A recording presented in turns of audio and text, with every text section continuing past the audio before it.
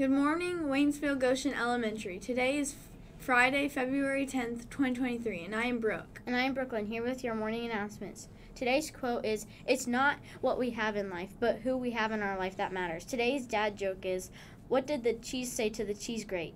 This may be cheesy, but I think you're great. There are no birthdays today.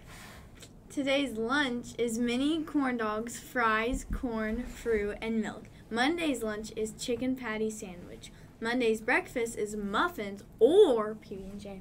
Also, all Waynesfield All Around Livestock 4-H Club will hold its first meeting on Sunday, February 12th at 2 p.m.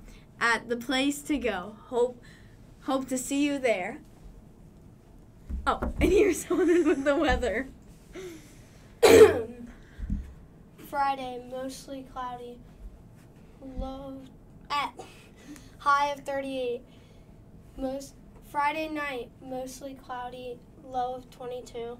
Saturday, sunny, high of 37. Back to the desk. And here's Grant to lead us in the pledge. I pledge allegiance to the flag of the United States of America and to the republic for which it stands, one nation, under God, indivisible, with liberty and justice for all.